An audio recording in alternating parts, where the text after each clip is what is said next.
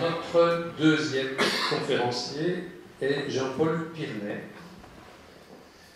Et il va nous parler de quelque chose qui a été fort médiatisé cette année. Jean-Paul Pirnet est né à Anvers. Il a étudié à l'université de Gand. Euh, il est Industrial Engineer in Biochemistry and Biotechnology.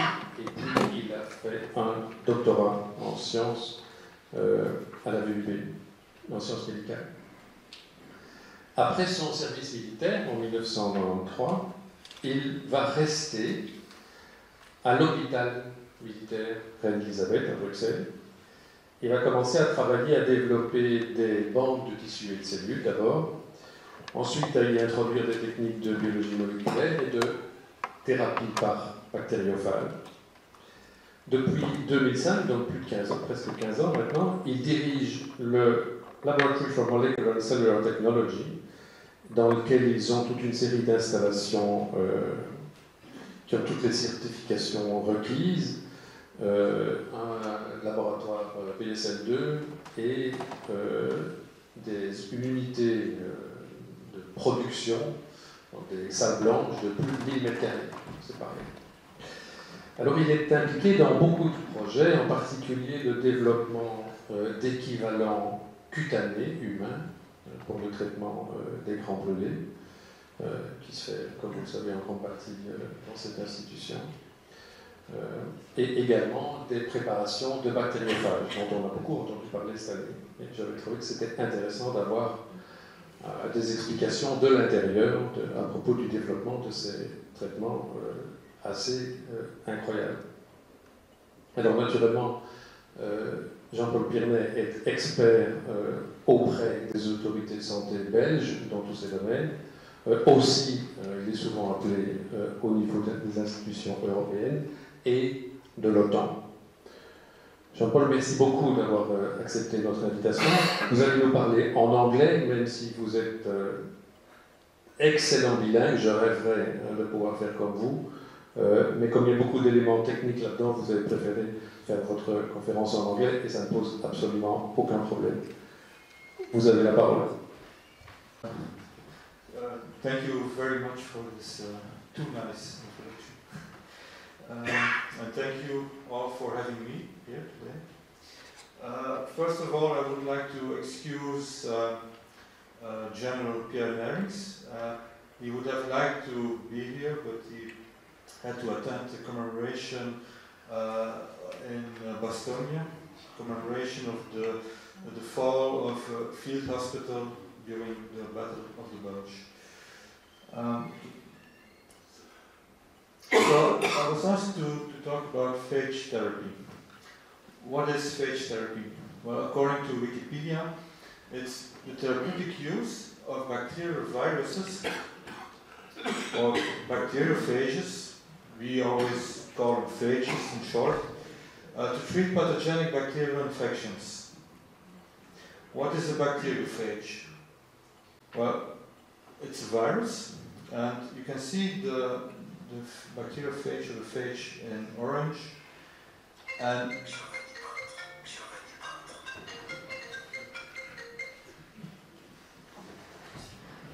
And you can also see a bacterial cell in blue with the cell wall in green You see so the phage is attached to the cell wall.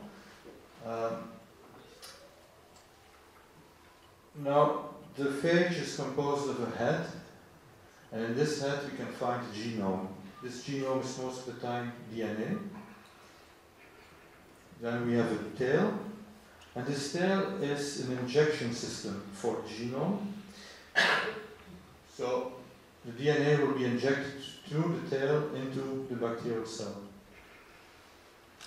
Then we have tail fibers and tail spikes. And these are used by the phage to attach to the bacterial cell wall. How do phages kill bacteria? Well, I'm only going to talk about the lytic cycle, which, because this is the cycle that is most important in therapy. And in the lytic cycle, uh, the phage will attach to the bacterium. It will inject its DNA. and then it will force the machinery of the bacterium to reproduce the, the phage genome instead of the bacterial genome. And then it will also force the machinery to produce phage proteins. And then the phages will be assembled into the bacterium. And then, through the pressure of these phages, you can have 10 to thousands of phages in one bacterium, or through enzymes produced by those phages, which are called endolysins, the bacterium will burst and the phages will come out and will search for new bacteria to infect. So we say that we, we have a self-replicating antimicrobiome. This is an electron microscopic view of uh, E. coli phages and uh, E. coli bacterium, phages in green. And you, here you can see phages injecting their genome into an E. coli bacterium. Phages are everywhere, uh, and they outnumber bacteria 10 to 1. So there are an estimated 10 to the 31st phages on this planet.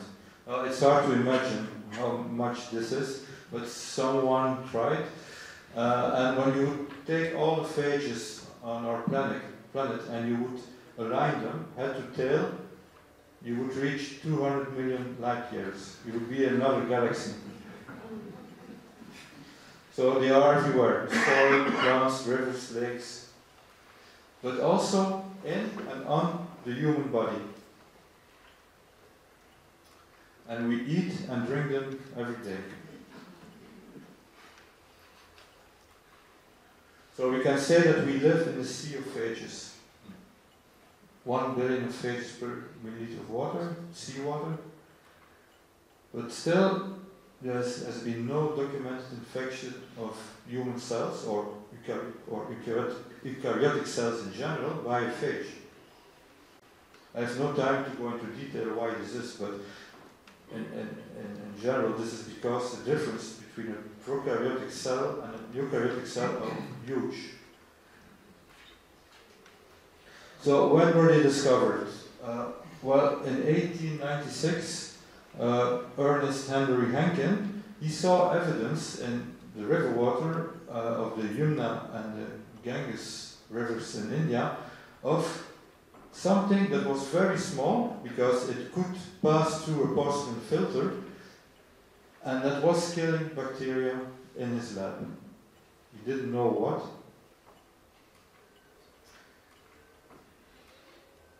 It was during the First World War that uh, two scientists, Twort and uh, Felix, Felix uh, independent of each other, they found that in fact uh, it was something that was virus-like, but it was Felix d'Hérelle in 1919 who first used them in therapy. So he saw the potential to use these viruses to kill bacteria, uh, and more specifically in children in Paris uh, with dysentery. But he didn't publish these results. So, and the first publication is by two Belgians from uh, Leuven, Bruynoghe and Maisin.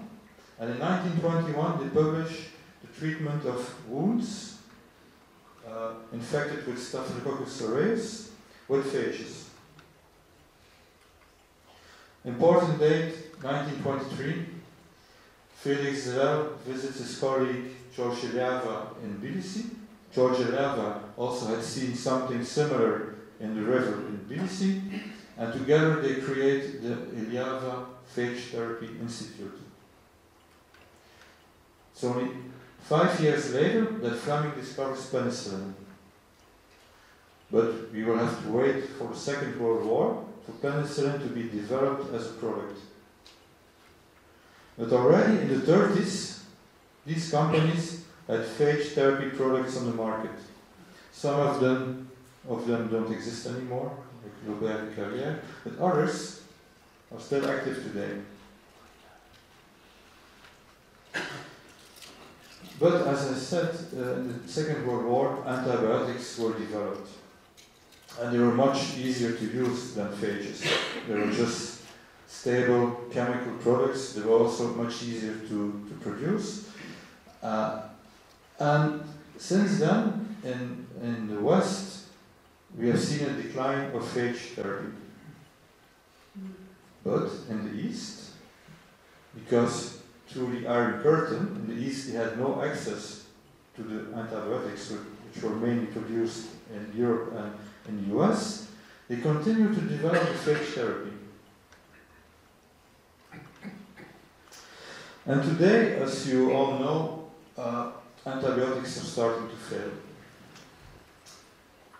And this is a recent publication in Lancet Infectious Diseases.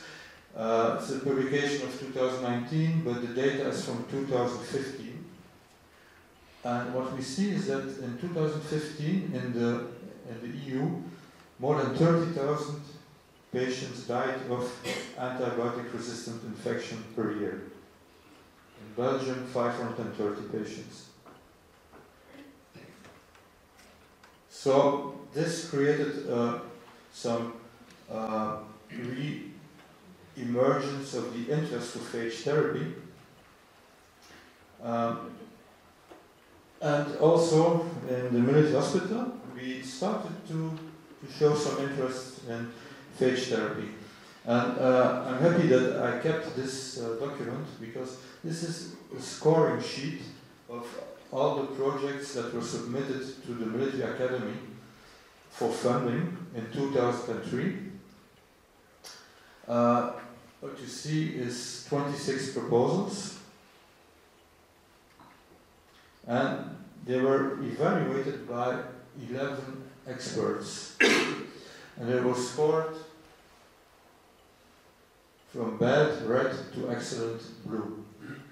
We submitted a project for funding in 2003 and it was the use of phages against bacterial bioweapons. In the military, we always have to find a military angle, find some funding. So, where were we? We were here. We scored 8 out of 20.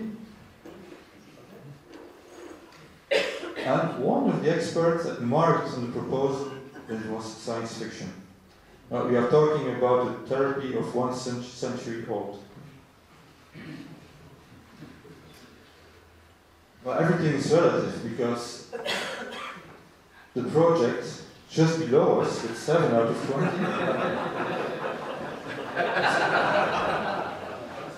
this was two centuries old. But okay, I, I, must admit that today we, we get some projects funded by the Military Academy but in 2003 it was very, very difficult. So we, we started collaborations with uh, civilian partners uh, from Ghent and Leuven, and also with the Eliava Institute, which I mentioned a few slides before, uh, because of course they, they have a lot of experience. Since 1923 they are using phages in therapy.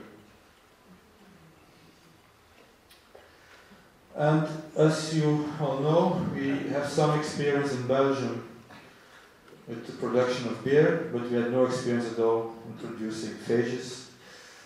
So we turned to the Eliava Institute and we talked to Dr. Maya Merabishvili and uh, she agreed to come over to Belgium to supervise our science fiction projects uh, this was uh, more than 10 years ago. And recently, a second researcher joined our team.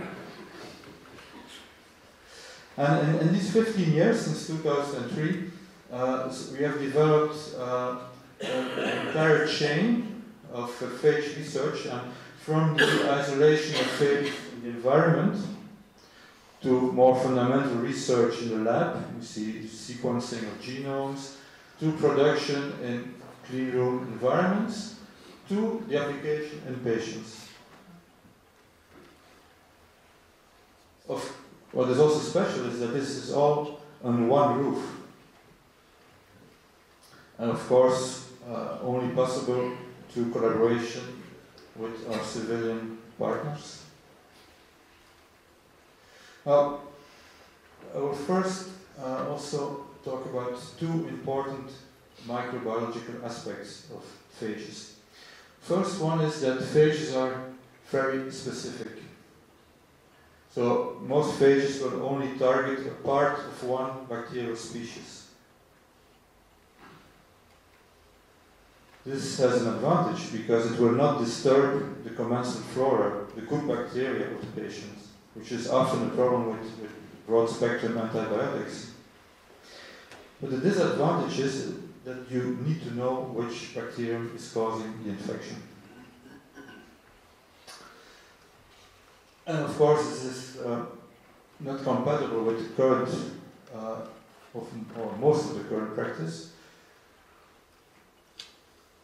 The second important aspect is that the bacterium phage couple is in fact involved in a host parasite relationship. And it's very complicated. And so phages will never eradicate bacteria because then they, they would eradicate themselves. They would not eradicate their host. So this means that if you want to eliminate all bacteria, you will need the help of immune system, for instance, or other antimicrobials. And uh, it's very interesting that uh, also in vitro we see uh, a synergy between antibiotics and phages. It makes sense because a bacterium has only a certain amount of energy, and when it needs to spend this energy to fight uh, two different uh, mechanisms, it becomes very difficult, and often it will lose one of both mechanisms. So now, to prevent that that phages uh, uh, would, would kill all their hosts, there is a, a there are different systems where bacteria will develop uh, resistance to phages, even quicker than to antibiotics. But uh, an interesting part here is that where antibiotics are stable molecules, phages can also evolve to again be effective against these resistant bacteria.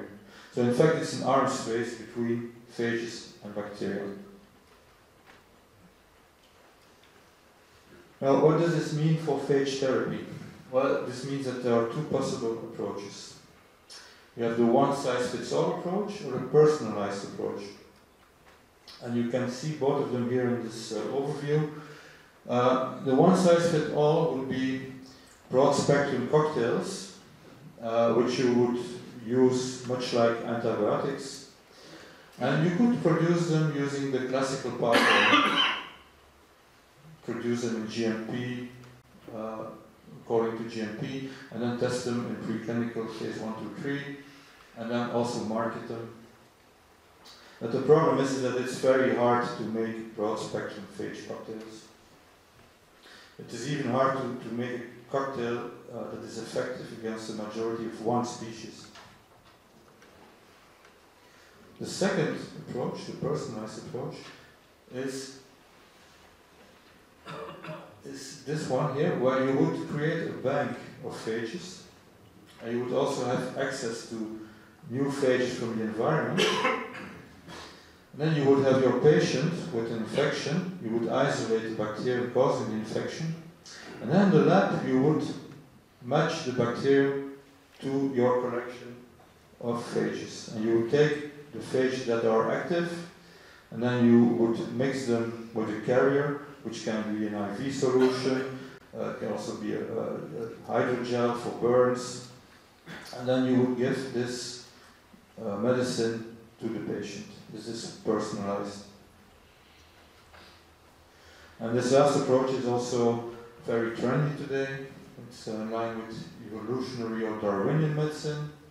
You use the natural controls of bacteria to control infections in the patient. Problem is that uh, for Europe, and, and this is a quote from the Commission, these phages are considered to be medicine products, drugs. So this forces the field into the top layer, into the production of phage medicine products according to the classical pathway. As you know, medicine products produced according to GMP and so on. And of course, this pathway has been developed for uh, static drugs such as antibiotics or aspirin, but they are less compatible with those personalized models that we would like to apply. And also, this classical pathway requires a lot of time and money. And also, when a company would, invite, would invest this kind of money, they would also want this to be protected. And the problem with phage therapy is, is that, uh, as I have shown, is that it was concept was first published by two Belgians in 21, and also phages are, are natural entities, and there are precedents where judges have ruled that natural entities cannot cannot be patented because there's no invention. Still, there, there, are some companies that are trying to develop uh, those broad spectrum cocktails uh, according to the classical pathway. Uh, and two of them are French companies, Pherecydes and Clean Cells. And the Munich Hospital was one of the clinical trial sites. Um, so it was uh, a phase 1 2 randomized controlled double blind clinical trial uh, phages, phage cocktail against Pseudomonas aeruginosa infection in burn wounds. Was funded by the European Commission, and the results have been published uh, recently. And I just show this because it, it made a cover page of, of Lancet Infectious Diseases, which shows that or, or illustrates the revival of phage therapy in Western medicine. In 2003, we could hardly find small budget for, for doing our research, and this has uh, changed dramatically. A lot of, of studies are now uh, being started all over the world. What were the main findings? For me, the biggest finding was that the manufacturing of, I'm not talking about development, because the, the composition had been already determined. It's just the production of the phage cocktail. One batch took 20 months and took the largest part of the study budget. Only 27 patients were enrolled because, yeah, those phages are very specific. They target only Pseudomonas aeruginosa.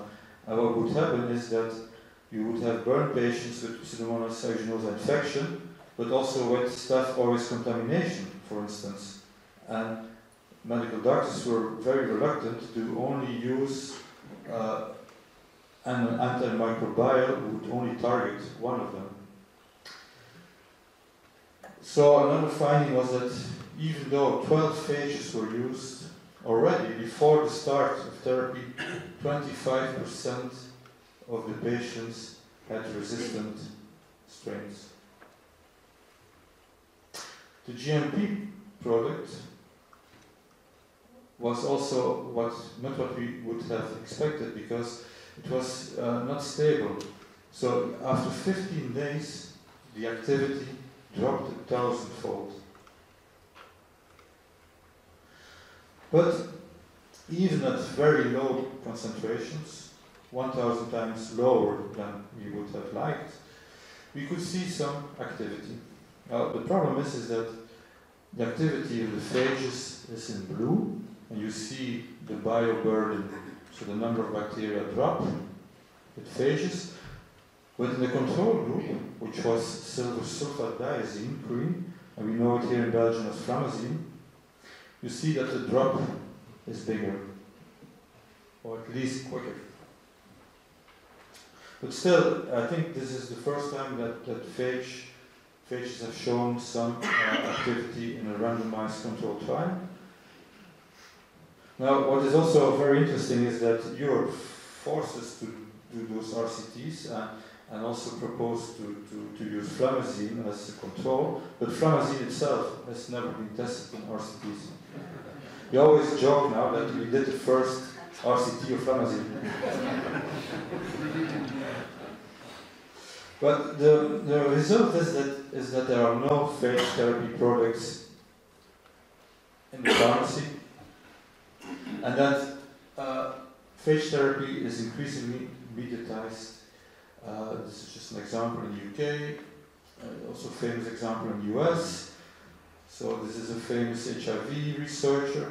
Her husband uh, got a, a multi-drug resistant infection in Egypt, and she used her network to get phages, and her husband was saved.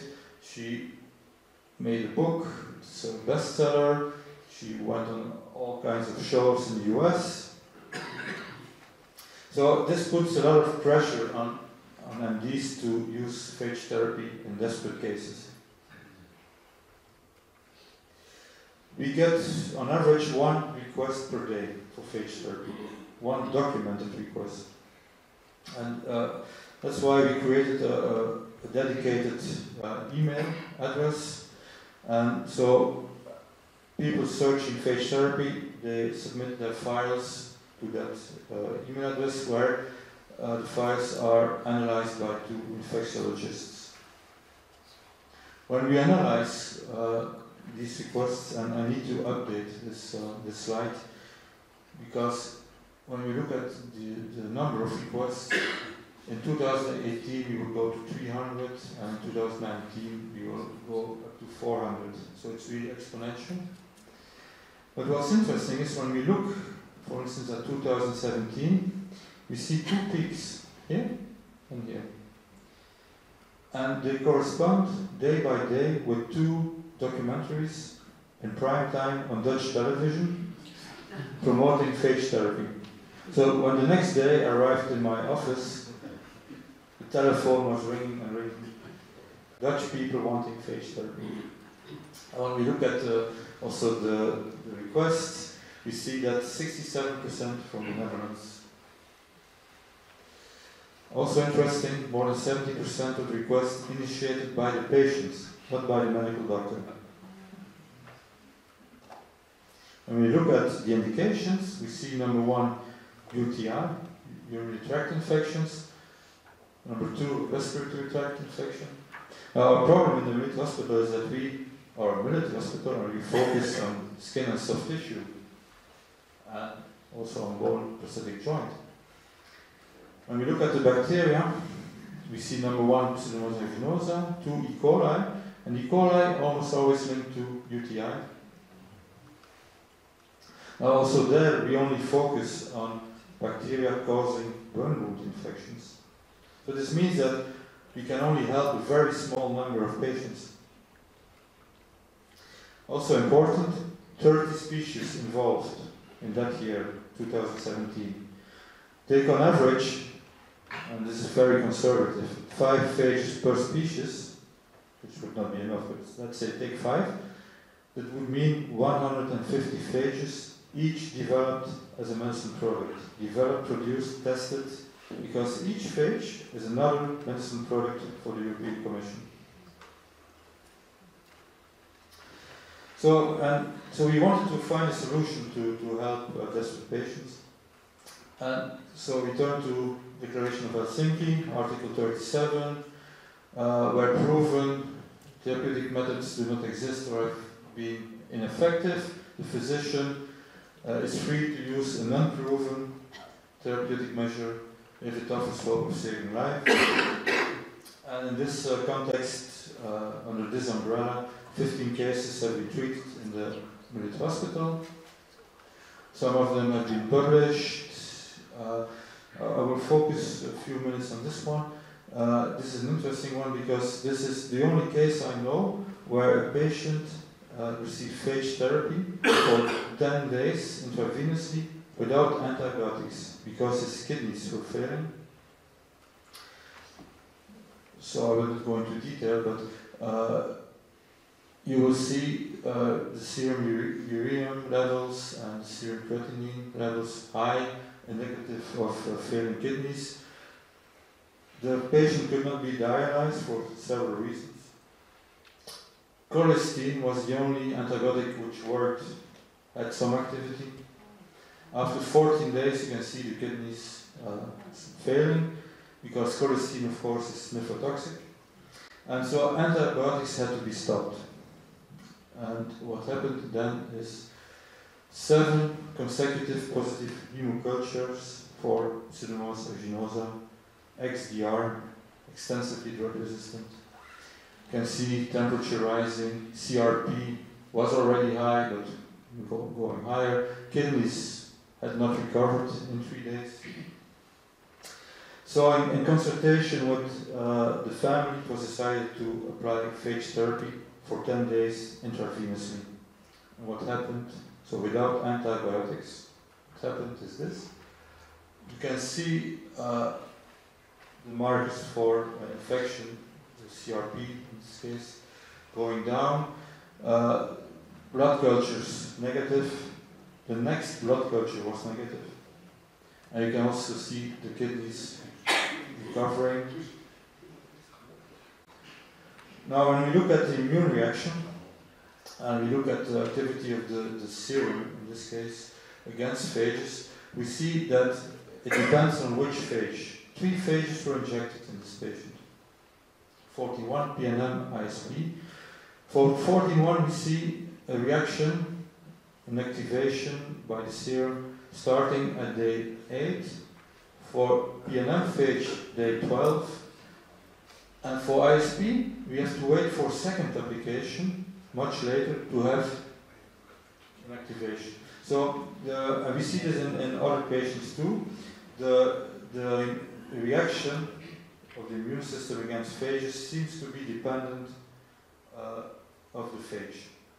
Now this, this uh, first non-reaction uh, against the phage it's not that surprising because phage ISP is intravenous staph phage from the Eliava Institute. And what they have done is they have trained this for intravenous use. So they give it to patients intravenously, and then afterwards they isolate this phage from the feces or the urine. They will produce it again and again give it to patients over and over again. So this phage has more or less learned to evade the immune system. Now, okay, Declaration Helsinki worked, it was, but it was a very difficult system to apply. So we wanted to have something more uh, robust. And here you can see our Minister of Public Health in the Parliament in 2015. And when she was confronted to questions regarding the status of phage therapy in Belgium, uh, questions by the opposition, she replied that she was aware of the problems uh, that we had producing phages as medicine products using the classical pathway, and she opened the door for magistral preparations. And importantly, she asked the competent authorities for medicines, uh, which is the IPS or FAC yeah, in Dutch, to help us set up a framework. What is uh, magistral preparation. It's any medicinal product prepared in a pharmacy in accordance with a medical prescription for an individual patient. So it's produced in a pharmacy. And it's produced from active pharmaceutical ingredients, APIs. And in our case, these APIs are phages. And these preparations must conform to the provisions of a monograph what is a monograph? It's like a recipe how to produce something and also how to test something. And this is the monograph that we elaborated with uh, uh, the authorities. It's very simple. This tells you how to produce phages and how to test them. I have no time to go into detail. What is the concept? Well, you have a phage bank with characterized phages then you would take your phages from your bank, you would produce them in a controlled environment according to the monograph, and then you would send them for testing by an approved Belgian laboratory. And then these phages with the test results can go to the hospital pharmacy and then they can be incorporated into magister preparations by a pharmacist upon the recipe of the medical doctor. Each phage in the bank needs to have a genetic passport. I also have no time to go into details, but you can find all this online if you want. And in our case, the Belgian approved laboratory that we chose was Sciensano, it's the former WIV ISP. This is a continuation of the genetic passport. Important is this goedgekeurd, approved.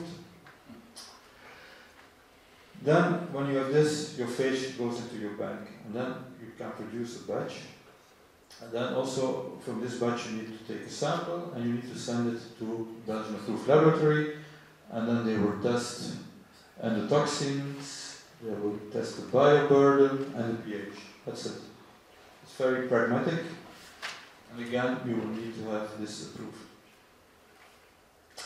Uh, and since 10 January 2018, this system, uh, or better the monograph, was deemed appropriate by the Belgian competent authorities for medicines uh, for use in magister preparations.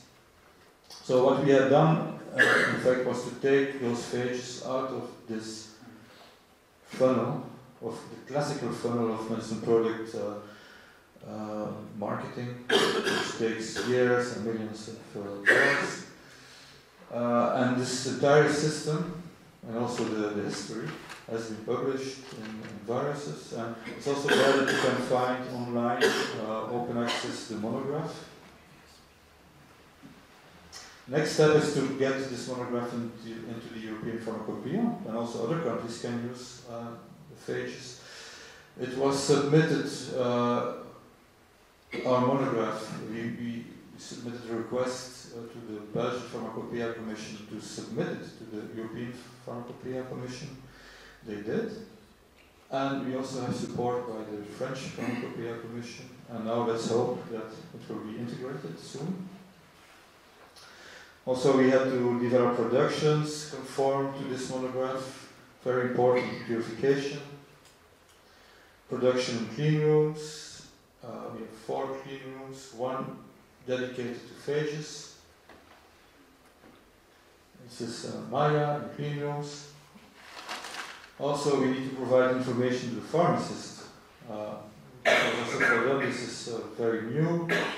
Uh, we have to give them also information on stability in different uh, kinds of uh, preparations. Is our IV solutions. These are all uh, burn wound creams, etc. These are examples of magister preparations with phages. Clinical applications uh, of, of, our phages until today 62, um, 28 uh, in the context of studies, 34 in medical practice. These are the indications. Uh, important in 12 hospitals in four countries. You can see several hospitals in Belgium.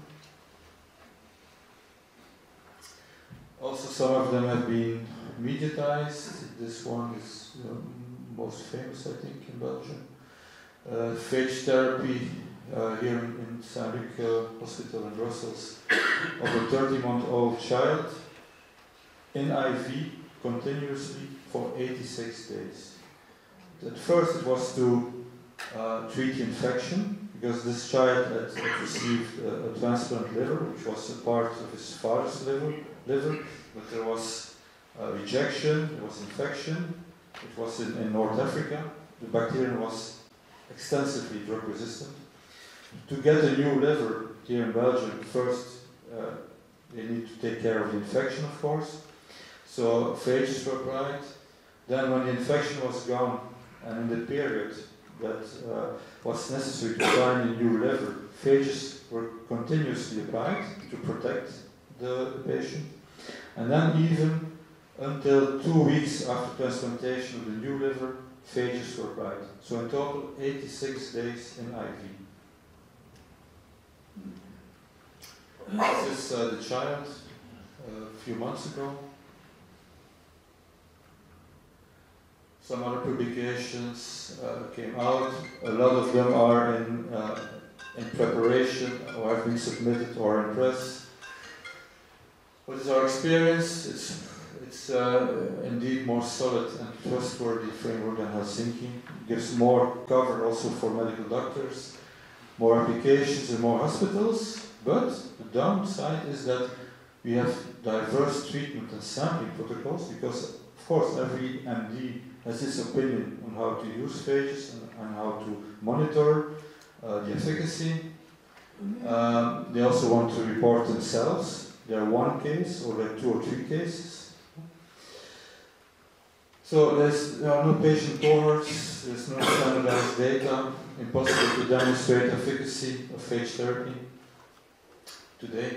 So that's why our future plans are to create a multidisciplinary phage therapy committee in Belgium for central coordination and standardization of phage therapy in Belgium. First steps have been undertaken. We will have a first meeting in February 2020. We also need a centralized register to monitor those phage therapies. We need to perform randomized controlled trials. For this we need money. We are submitting grant proposals. We need to produce more phages in collaboration with pharmaceutical companies because we are a research lab, we are not a pharmaceutical company.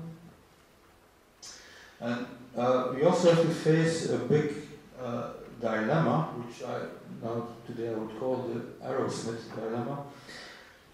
Normally, I, I used to use this slide to illustrate that phage therapy was common in, in the 1920s. And you see, uh, this was a novel from 1926. It won the Pulitzer Prize. It was also transferred into a movie which was nominated for the Oscars, won second prize.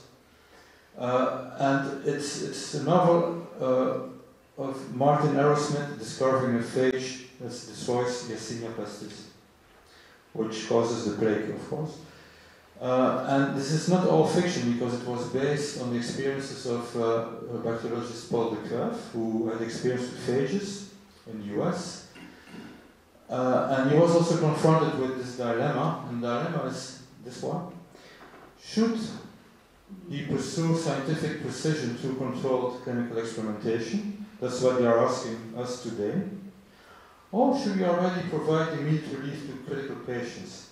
That what, that's what we sometimes do, and we are often criticized for this.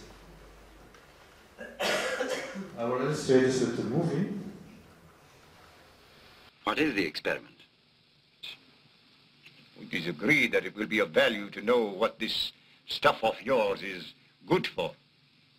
Why, yes, of course. Well, if you could give injections to, say, only half your patients, and sternly deprive the other half of them, then you would know. I certainly would, yes. That is the experiment, Martin.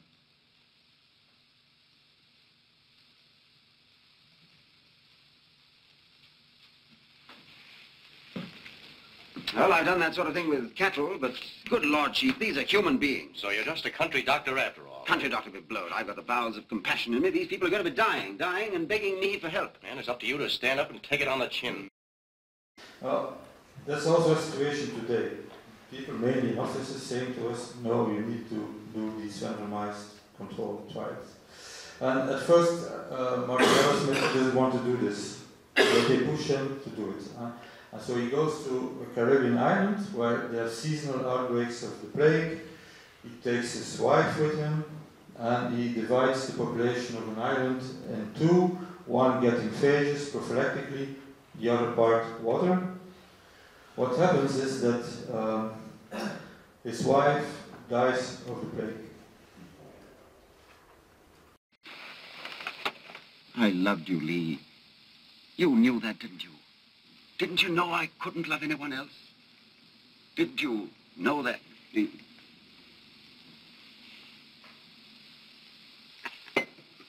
I'll give them all the serum. Shoot them full of it. Come on, open the doors. Let them all in. Open the doors!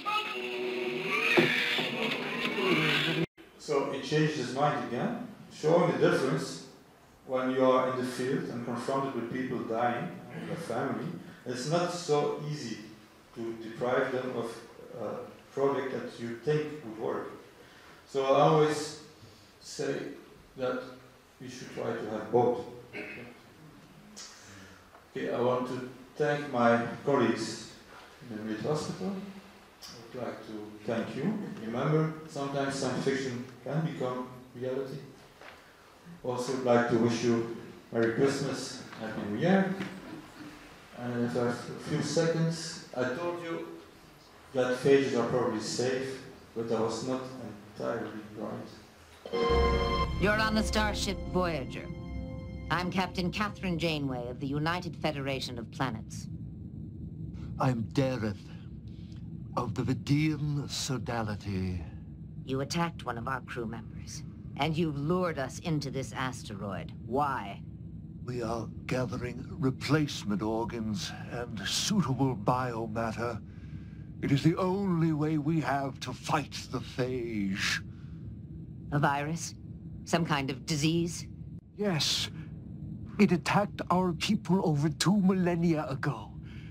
It consumes our bodies, destroys our genetic codes and cellular structures. So, take home message, probably safe for humans, watch out with Vidians.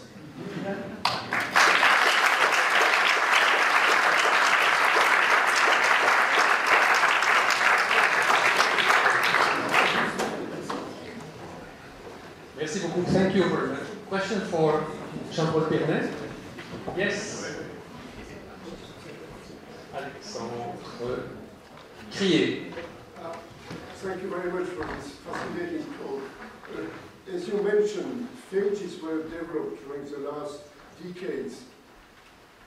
Thank you. Mainly in Georgia and other eastern parts of uh, Europe, uh, where phages used mainly locally, topically, like on skin or other places of the body, or already intravenously.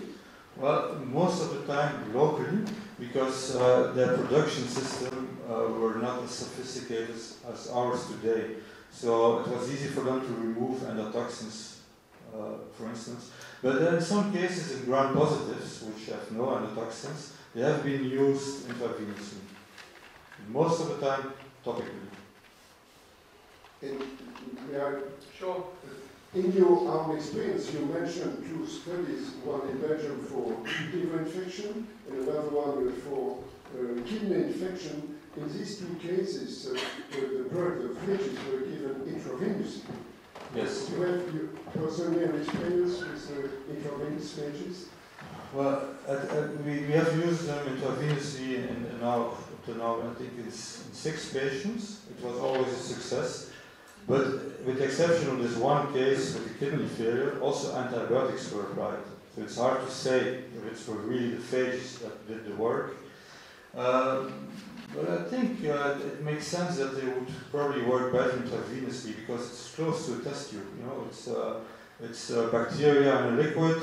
You add phages in this liquid, and it would work. There's, there's no place for the, bacterium to hide in some niche where the phage would not uh, would not get there. So, yeah, likely this would be one of the of the major indications where, where phages uh, can be used. Thank you very much. Thank you very much.